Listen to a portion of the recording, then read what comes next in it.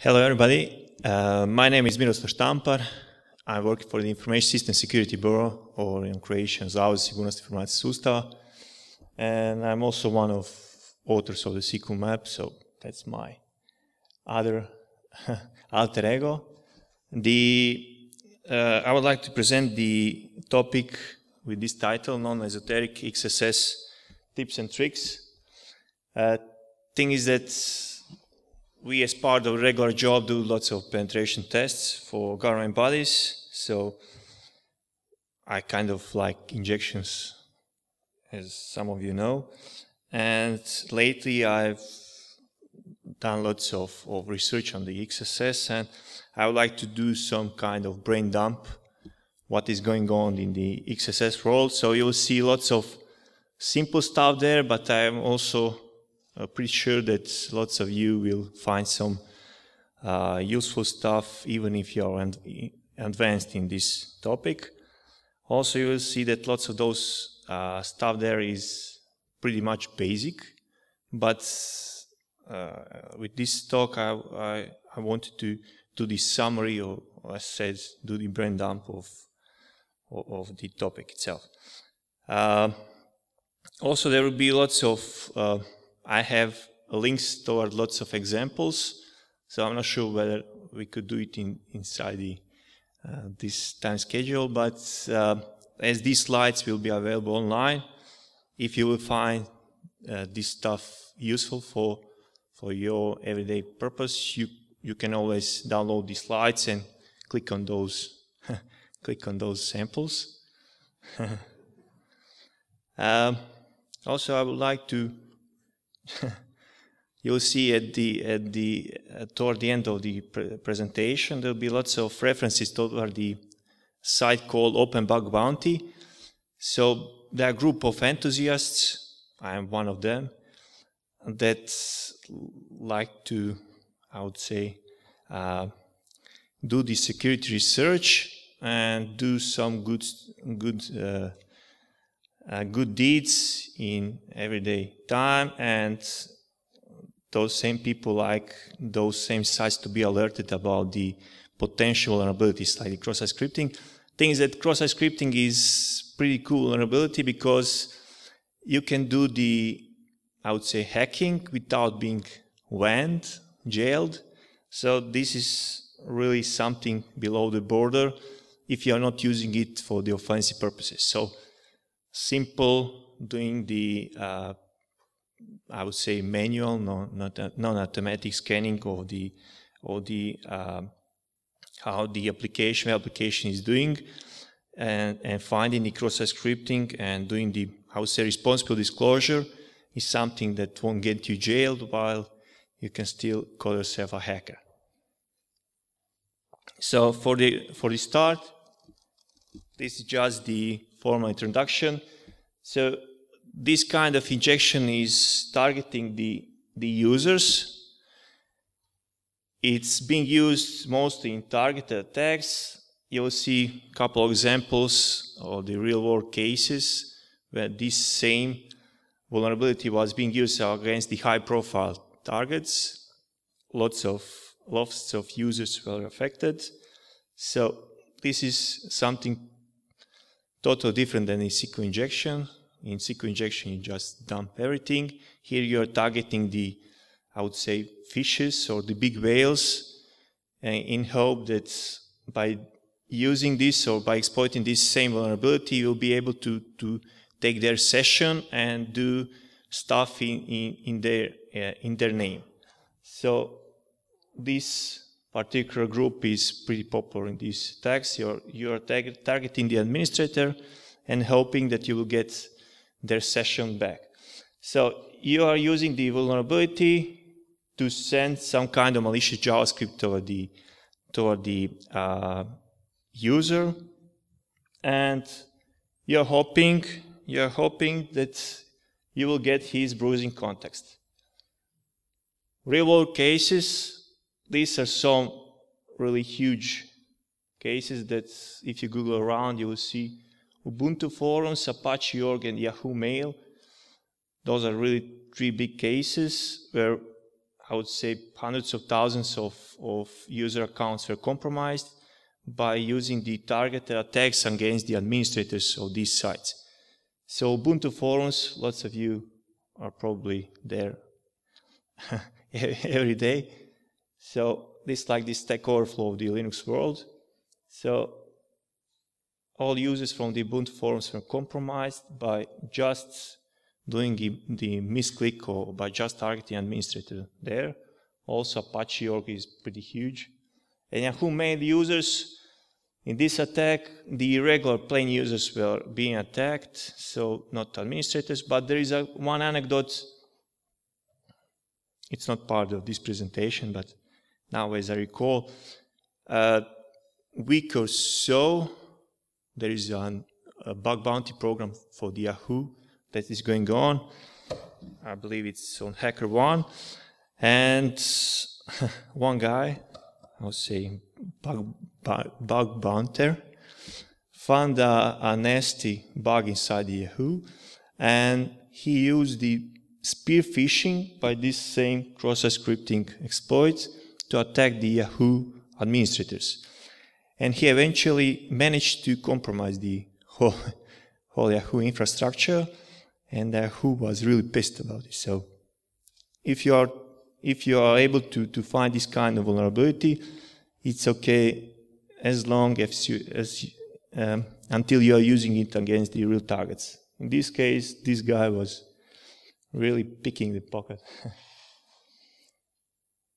These are some fundament, fundamental stuff uh, uh, around the vulnerability. It is considered as critical, so you'll get well paid in bug bounty programs. For example, if you are able to find cross-site scripting on the top Alexa 100, you'll get a couple of thousand of bucks. I believe on, on Google you can get uh, from thousand to ten thousand dollars just for this vulnerability.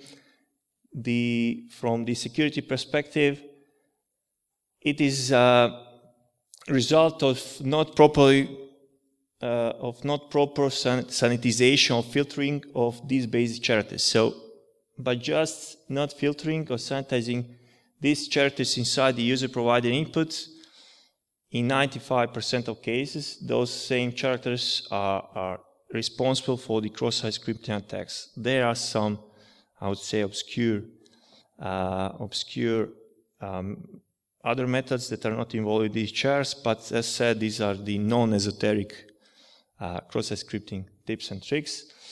Uh, while testing, you are trying to find whether there is a reflection from the user-provided input inside the responses.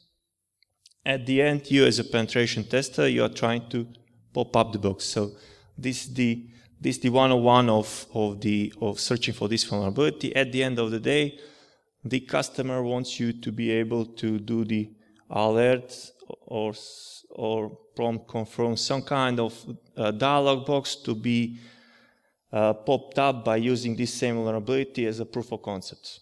Types are store, reflected, and DOM based. In store, as says here, is persisting. So you are, for example, you are sending someone, uh, uh somebody a mail, and if the mail client is is uh, prone to this kind of vulnerability, the the same message will will have that persisting reflection of your user providing input. So inside the, the message itself, you can do some JavaScripting if the mail client is broken and do the cross-site scripting, uh, cross-site scripting attack. In the reflected or temporary, you are just doing the one, one-time reflection. So by basic example is you are using the malicious JavaScript inside the link provided to the end to the end user. If he clicks the link, if he is able to to uh, if there is a vulnerability, that same JavaScript will will start and the uh, the user session could be compromised in the end. And the DOM-based or in-browser, this is the I would say esoteric compared to, those to those types here. DOM-based is being run only inside the browser. So there is no reflection from the that is going on from the user to the server and back. Everything is being done inside the browser. So in this presentation, I'll cover mostly stored and reflected DOM based. Is really a, a, completely new territory where all those rules from here are not are not valid. But I can say you from from my own experience, or, or as said at the beginning, you can always go to the Open Bug Bounty. It's a really great repository for you to to learn about this uh, vulnerability because uh, those same guys are doing the, the snapshots of that same page in the time of the, of the vulnerability with that same payload being stored inside. So at any time, at any point in time, whether there was a vulnerability or whether that same vulnerability was being uh, submitted to the Open Bug Bounty, that snapshot in time will be stored there and you will see what that same, I would say, attacker or that tester was able to, how was he was able to pop up that box. Uh, on Open Bounty, you won't see lots of DOM-based cross-site scripting. I won't say that those guys are not able to do it. Thing is that in percentage, in percentage, or, or, or when you see the, the whole ratio of of the of the affected sites or, and the and the the uh, cross-site scripting across those sites, DOM base is really uh, uh, minuscule in ratio compared to the to the others. Full for thought. Just one thing to, if you will, uh, just remember a couple of of uh, things from this presentation. I would pick point this one as number one.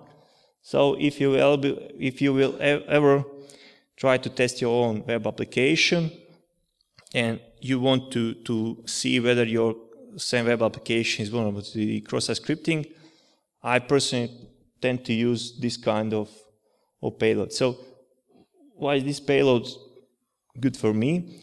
Thing is that it has some characteristic prefix and suffix, so it's really easy to, to, to spot it inside the reflected uh, or inside the page response. Also, it's pretty easy to do the the graphic of or, or search inside the source of the of the response. Also, thing is that these same characters, those I would say four horsemen of the apocalypse, thing is that those same characters in this formation are really triggering triggering minimal uh, percentage of the protections. Thing is that either you will uh, get to, to the point where there is a filtering or sanitizing uh, mechanism there on this side. But if there is some kind of protection mechanism involved, some kind of WAF or IPS, if he sees this stuff inside, uh, there is a minimal chance that this will be uh, alerted or this will be noted uh, inside the inside the IDS logs as something that is that is uh, cross-site scripting. So this really looks like a junk inside the, the logs itself. So this one is powerful and also you can do lots of stuff with this one. Uh, I will skip this slide and just go here and I will back to the previous one. Here you can see, if you're able to see, here I use that same payload uh, on that page here so I just put inside the, the search box that same foobar. And when you're going to the view source of that same uh, response, you will see that those same characters are being unfiltered and being uh, responded back to the, to the user itself. So by just spotting those four characters unfiltered, all doors are practically opened. So in this case, you have two points of, of two points of injection. You have the value, value attribute inside the input tag. Also, you have the, the, the uh, area here between tags strong. So in, in two, there are two ways how to, to, uh, how to exploit this one. Either you inject here. I'll show you later on in, in some, uh, I would say, formal presentation how this is going how this is working, but here, if you know something about the HTML, you know that inside the value, if it's inside the value enclosed with the with the ticks, you just do the the closing closing of the ticks and just use some kind of, of JavaScript payload. Or either here in this case, you're just using some, some, uh, some XSS payload without any enclosing of the, of the context itself. This is just the, the practical example. I'll show you later on what is going on here. The basic testing workflow goes like this. So you have pretty much four steps. You are trying to find the reflecting input points. So those in input points can be either the, the search, search form or the get parameter values. Once you, you find those input points that are reflecting back your, your uh, input, you are trying to recognize the context of the reflected, of the reflected uh, user provided input. So for example, in this case, it's inside the script tags. After that, third parties bypass of, if possible and required, of potential sanitization, filtering, and or protection mechanisms. So I would say from my own experience, sanitization filtering is going on. So if there is a cross-site scripting vulnerability at the first place, you will really have lots of uh, 50% of case you will do some kind of, of uh, bypass of the sanitization or filtering. Uh, in, I would say, 30, 40% of cases, you will deal with some kind of protection mechanisms. Protection mechanism, for example, if you're using the ASP.NET, you have also uh, automatically included really good one, uh, that in input request validation uh, mechanism that is already uh, that is already covering lots of cross-site scripting attacks by just being there installed in, in, in, as part of the ASP.NET. And then at uh, four part is writing the exploitation proof of concept. So you're trying to pop up that same box.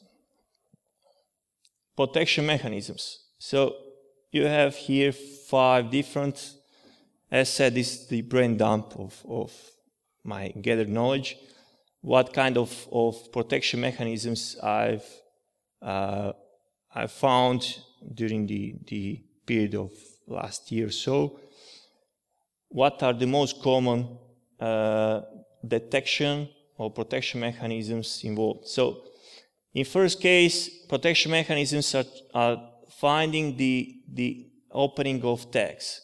So anything that starts with the with the uh, letter and oh, everything that starts with the opening uh, with the opening of tag and with the letter it's considered as potentially malicious.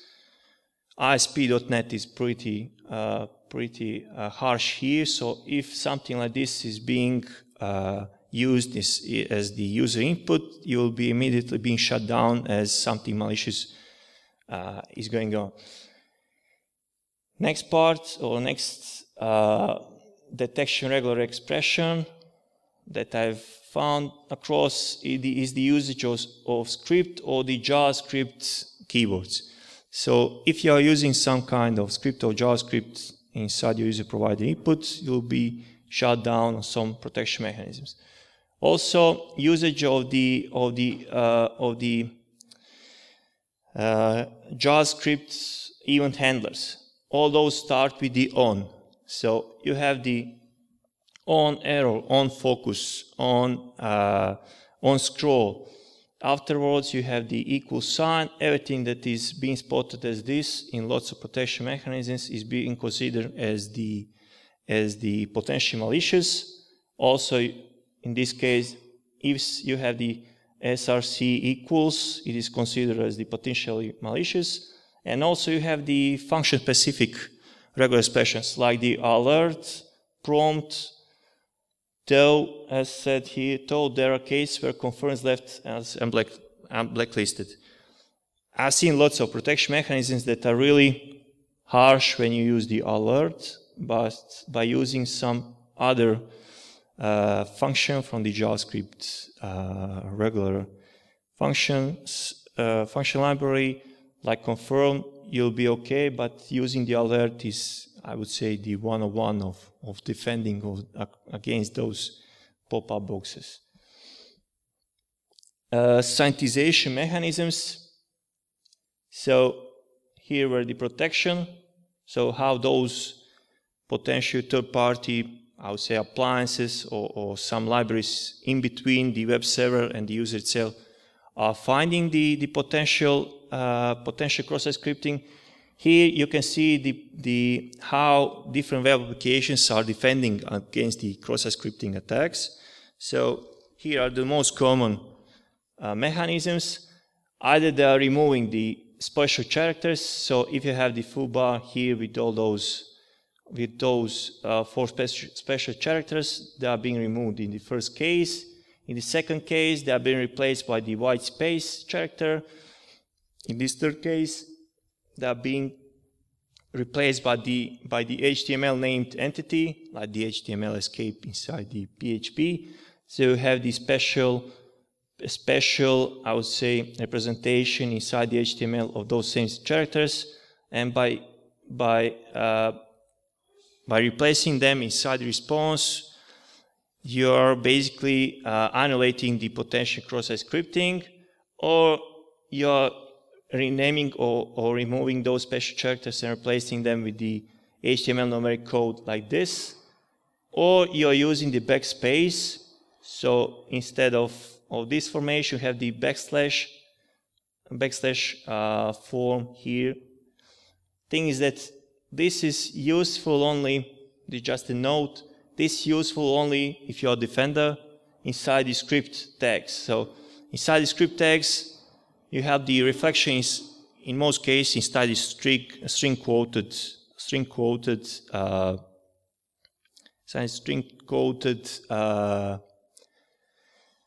uh, contexts inside the script. Outside of the script, these same protection mechanisms are useless. So I found lots of cases where this is being used not just to protect the script part, but also to protect the HTML part, and this is really easily uh, being uh, being bypassed inside the HTML context. Also, there, there is one cool cool thing: uppercase conversion of those same input character values. Thing is that I've seen lots of, I would say, also in, in, in CTFs. This combined with some another mechanism from here is really a powerful way how to how to uh, push the attackers, potential attackers from, from your side thing is that JavaScript is case sensitive. So by just uppercasing the input, you really uh, narrow down the potential that I would say attack plane in the cross-site scripting world by just doing this simple uppercasing of the of the input itself. Now the specific, as said brand dump, these are the the most uh, most common uh, scenarios in the cross-site scripting world that you can come around. Tag this the general. This is just the general introduction. Inside the tag itself, if you have the uh, if you have the inflection or, or, reflection inside the tag itself, either you are trying to to uh, to break out the tag itself and try to to inject some kind of, of the malicious uh, JavaScript code in this case, this is one popular way how to inject that same pop-up box. So you have the SVG as the image, as the image, and you said here that the onload you want the pop-up box for the cross-site scripting. So this really uh, uh, uh, regularly used in the in the test itself, in, uh, in that particular in that fourth phase when you are trying to find the proof of concept. So instead of using that dump script enclosing, and inside of it alert, that same uh, script and closed tags are really uh, being uh, spotted also with the most primitive protection mechanisms, but this same payload here is being spotted by the far less protection mechanisms. So this is something that also goes below the radar on the on the IDS screens. So in this sample, also I'll use it in others this sample, I'm trying to, to break outside of the of the href uh, tag and injecting the, the payload. So you can see the payload here injected inside the script, inside the HTML source. you can see it's being valid, valid inside the source, and by just running it, you will get the pop-up box. In this second second uh, uh, case, you have the when you're using the when you're targeting the age tag, you have the uh, narrowed down uh, list of usable uh, event handlers in the href. You have the on-click that is usable. So by injecting the uh, event handler for the on-click that will pop out the box for the alerting, by injecting that same on-click inside the, the cross-site scripting vulnerable page, you'll get the malicious link. And this is also the, the valid way how to, how to exploit the, the cross-site scripting vulnerability. Thing is that this is the, this is the really most basic case how to, to exploit it.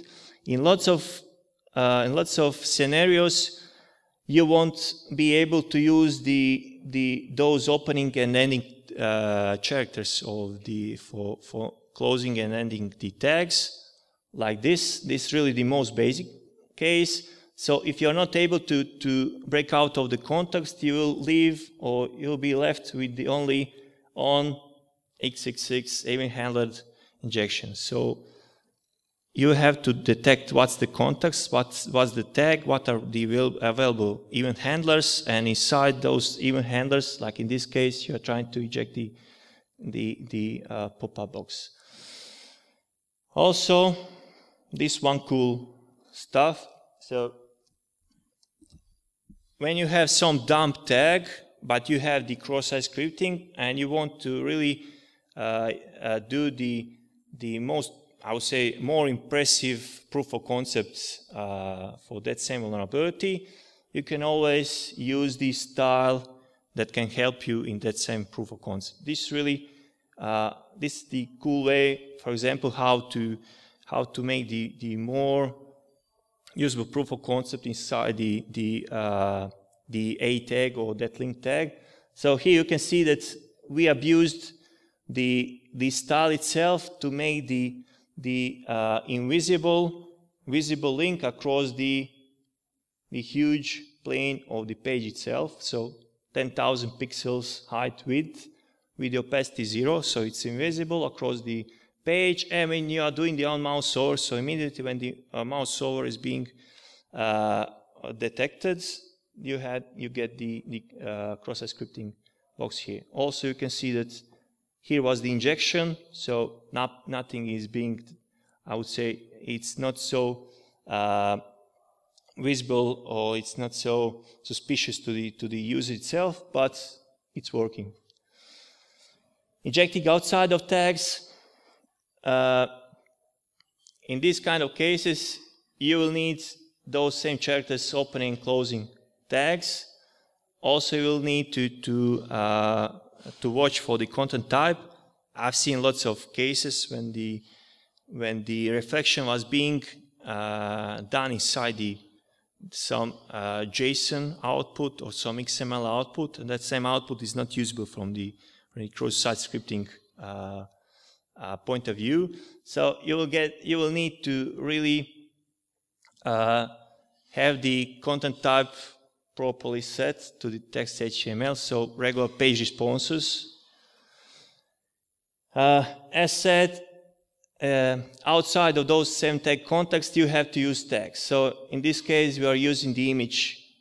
Image, we could use also the SVG or something like that for just for popping up the box.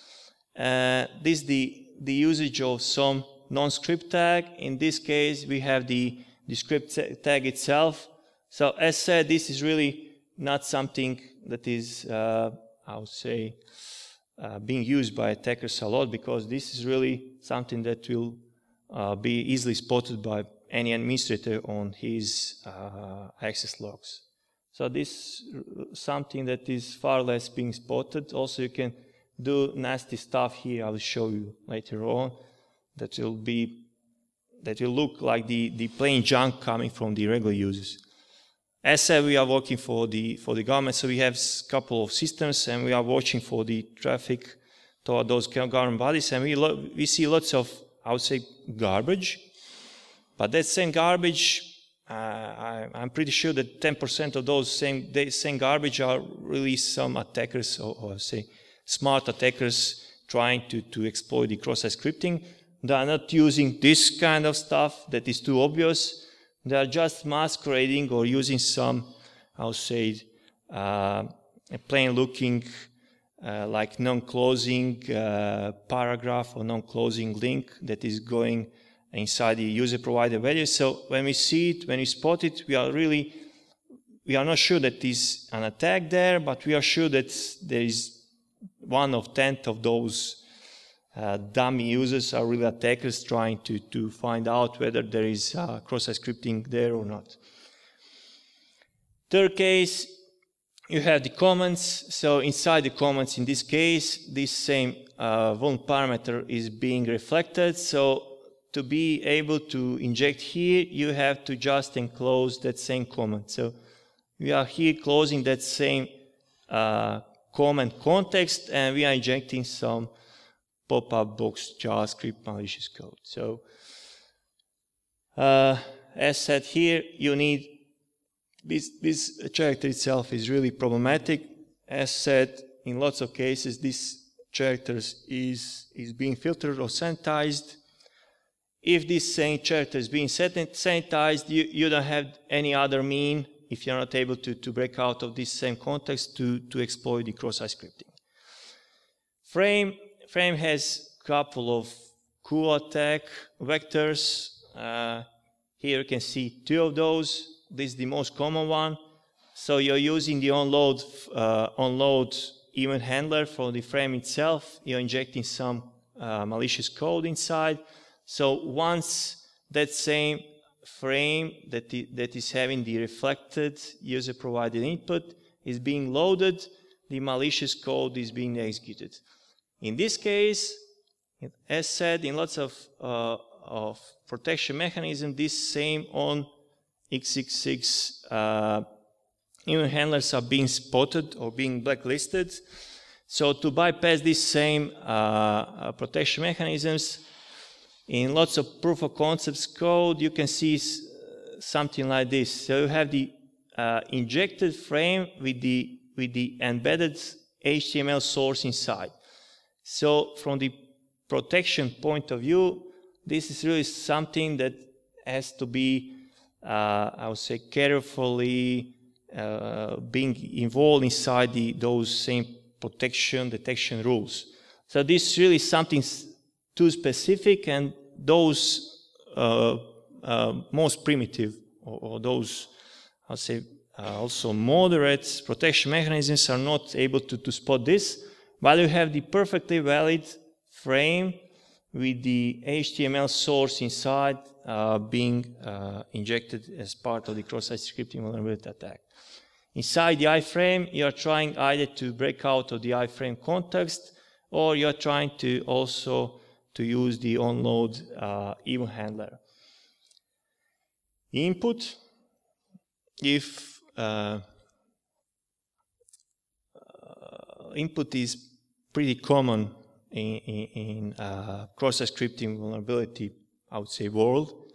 So this this may be second or, or, or third uh, in in uh, case in in point of, of or percentage ratio uh, of being spotted in, the, in the wild. So inside input tags, you have the reflected value, and you are either trying to, to break out of the input itself, or you are trying to use one, I would say, cool trick.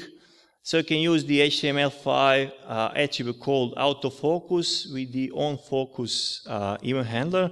So automatically, just by loading that same uh, same um, page with that same input uh, autofocus uh, tag, you immediately uh, being attacked by the malicious JavaScript code. And I'm not sure whether some some of you guys are solving the CTF. you should uh, you should uh, pay attention to this. Uh, this is a really cool trick. Thing is that when you have the input type hidden, and you are trying to do the cross-site scripting attack against the, that same tag. Couple of years ago, there was a dead end for the for the uh, for the pen testers. So when they spotted the input type hidden, they just moved on. But lately, there's one cool way how to how to pop up that box. So it's called the access key. So by by targeting the hidden inputs uh, tag and using this special uh, attribute called access key, you can have the uh, you can have the user assisted XSS payload. So by targeting the user and using some kind of uh, uh, social engineering, if he, if you are able to, to, to say to him, okay, now you should really click the Alt Shift and that X here, you'll be immediately uh, being attacked with that same uh, malicious JavaScript code. So this is something I would say kind of esoteric, but this is uh, on, bug bounty programs, this is a valid vector, so this is something that can be used also uh, uh, uh, in, in WAL. Inside the script tags, I've seen lots of top sites that are vulnerable to, to, this, to this case. So if you are using third-party libraries for, for example, for for in injecting the, the add-ons or some banners inside the, the script. I've seen, for example, uh, lots of sites using the Google, Google Ads, but with some probably obscure version of that same plugin that were being vulnerable to the cross-site scripting. And, and why? Because they reflected the, the input inside the, the script itself here. So by uh, reflecting the, the user provided input inside the script, you can just do the uh, do the semicolon and just just uh, use the the uh, malicious JavaScript in in uh, in continuous stream here, as seen here. So you can see this is the affected JavaScript piece of code. Document write hello world, while we are just enclosing that same piece of code here with the valid tick, and we are just continuing on with the valid JavaScript. Things that this is really hard to, to be spotted uh, in protection mechanisms because there are lots of, I would say, esoteric JavaScript uh, functions that are not being blacklisted. Also, uh, those same characters here, like the single quote parentheses, are not so uh, immediately uh, suspicious. So if you if you see uh, the the uh, reflection inside the script tags, you can be pretty sure that this is being exploited most probably uh, in WAL uh, or that somebody will be able to eventually exploit it. this is the number one number one case for the for the top sites. Lots of uh, top sites, even top top developers don't know about the the uh, I would say potential danger of the using of this of this uh, comment. So by just doing the echoing of the PHP self, PHP self is the server variable that says what's the path that was being used to by the user itself to access that same page. Also, I was being caught by myself to use that same thing. Uh, uh, I was unaware that I introduced the cross-site scripting in one case. But just echoing the setup PHP itself without the proper uh, without the proper sanitization filtering, you can just continue on with the regular part that has all that fancy JavaScript inside.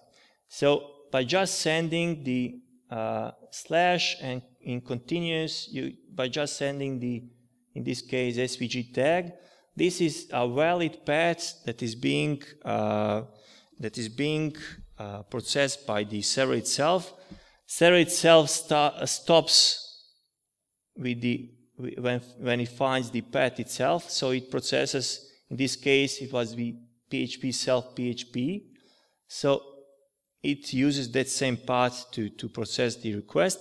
But if you use the echo server PHP self, like in this case, PHP echo server PHP self, you are introducing the vulnerability. So this is the top one menace in, in, in lots of top sites, and I would say lots of also 404s are prone to this same vulnerability. So also in lots of cases, those same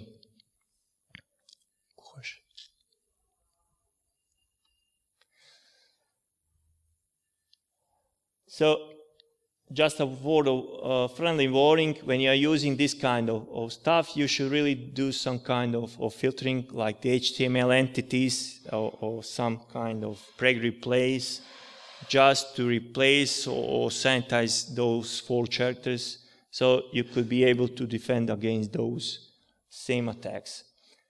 Uh, meta tags often is uh, mislooked. I found lots of sites with this one. So big sites tend to use the metadata and then tend to use the meta tags. Meta tags are invisible tags that are going in the preamble of the, of the HTML code.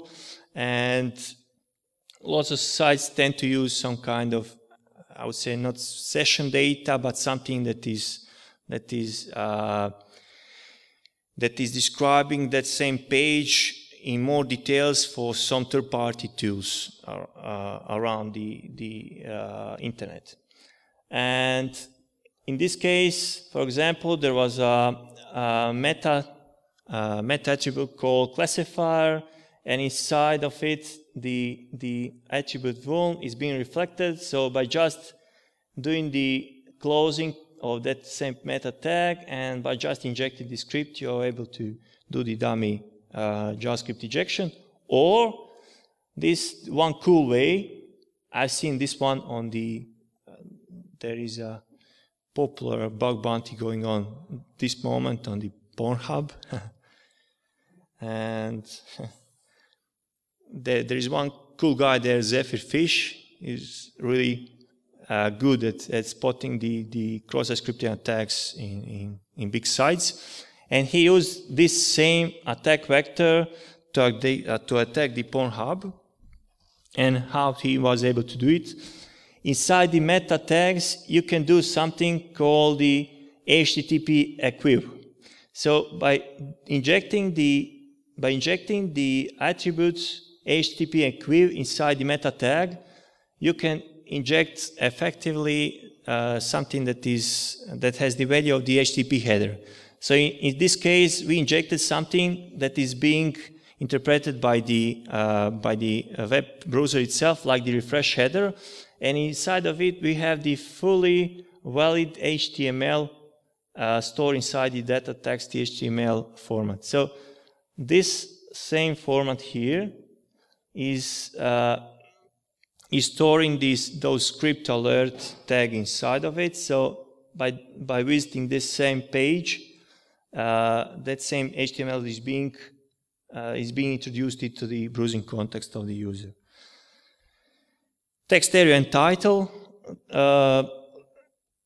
Uh, these are not so, uh, I would say, uh, important, but it's it's uh, important to, to just to know that lots of automatic scanners are just doing the, the dummy payloads inside your web application and often they forgot that there are uh, tags that just need to be closed for you to be able to inject any kind of, of JavaScript inside. So text area and title really need the, the enclosing of those same tags so you could be able to do any kind of JavaScripting. So in this case, we injected the closing, uh, closing tag for text area and we injected the, the JavaScript inside. Post, this is the I would say, perfectly valid attack point. Uh, instead of malicious link, you have the malicious HTML. Here you can see one, one malicious HTML that has the form that is automatically being loaded by the, by the body or by the HTML itself. And that same form is automatically submitting something to the, to the endpoint. So in this case, we have the cross-site scripting inside the post parameters, and it, this is the, those same uh, that same malicious parameter value is being transmitted when that same HTML is being loaded. So in this case, this just this was just for the presentation purposes uh, done in the in the in my home place. So there was a XSS vulnerable page that accepted only post parameters. Just by loading of this malicious HTML, you are able to to attack the end user. Protection bypasses. So if you're interested into this topic, I will, or this will be most probably uh, part of the of the uh, of the conference uh, slides. These are the this and this are the collection of uh, I would say non-esoteric ways how to, to how to bypass the, the protection mechanisms and the sanitization mechanisms. So I used all of those at least once or, or twice in the period of the last couple of years. So all those have something specific inside. So for example, if you have the, the white space uh, removal protection mechanism, you have something like this. You, you can just use the backslash inside the, the malicious tag. If you have the, the parenthesis removal, you can use the, those ticks here that, will, that can uh, replace those, uh, those parentheses. If you have some nasty uh, protection mechanism that really doesn't like those parentheses, you can also use something like this. So by throwing the string or, or by throwing the exception having the script uh, string XSS, that same uh, string will be, uh, in this case, processed by the confirm. In this case, you can see here that we are masquerading the, the string itself or the content of the string itself. So here we are not using the, either the, the single quotes or double quotes to, to, to, to make that same uh, alerting box. Here you can see the JSFuck. it's called JSFuck, but uh, this was being also presented by the guy from the FIGO. This completely non-alphanumeric, this the valid JavaScript that can be used. Also one tip, uh, all those links here, you can just click on those inside the slides and you'll be forwarded to the either the JSFiddle or the one example the open bug bounty, most probably done by myself. So you'll be able how all those are doing in while. So uh, all those are really useful. Uh, so also this kind of uh, at first esoteric stuff is really uh, usable. Just click on that same link. You'll be forwarded to the JSFiddle. And if you're using the Firefox, you will see that all those, oh well, ones. HTML injection. That's the postscriptum. this is also the, the valid attack vector. So if you're not able to inject the JavaScript, you can inject some kind of either malicious evil links uh, to, the, to the end user, fake login uh, form, or some fake defacement. Uh, recommended resources, Open Bug Bounty, really great way how to how to learn on the real life cases what is the cross-site scripting uh, in real life. And the HTML5 sec, this being uh, uh, done by the Mario Heiderich, he's really, I would say, God in, in the cross-site scripting world. You should definitely pay attention there. And that's pretty much it. Questions?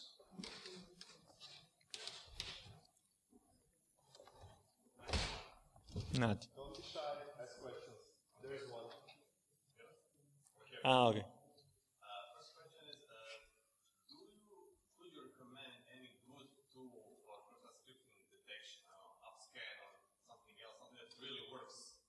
I, I can see you from.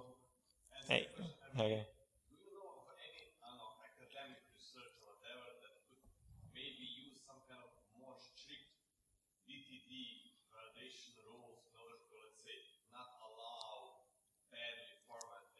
Okay. That second question, Mario Heiderich uh, made that PhD thesis on that same topic.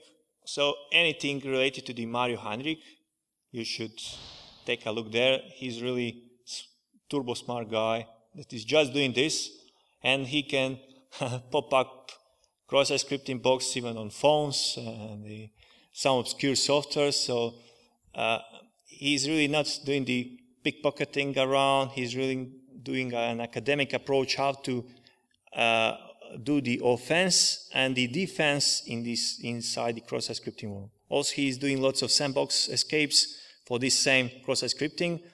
Also, he's doing some uh, sandboxes uh, by himself for the for the those same user reflected input uh, values. Mario Heiderich for that uh, that second uh, question, and the first one. It's not my experience. I really like to do uh, tools by my own. uh, I like to, uh, the most advanced uh, um, tools are doing that context detection and context exploitation. So uh, dummy, dummy applications are just doing the ejection of, of dummy payloads inside the, the content and they have the browser instance in parallel that is running and they're trying to, they're just waiting for the pop-up box. The more advanced ones, I would say you won't see that in commercial tools. I'm doing one of those that is not for, it is not yet released.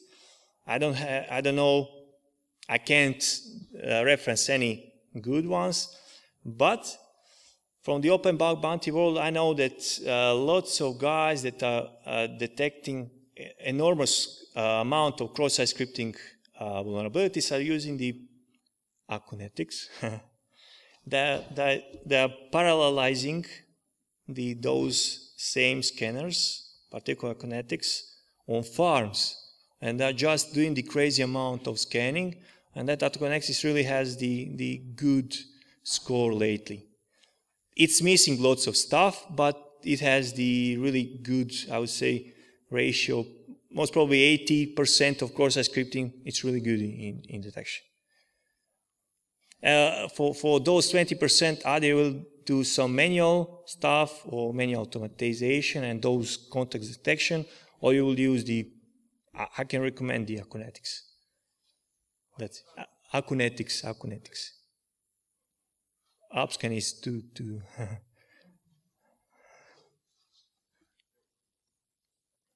More questions?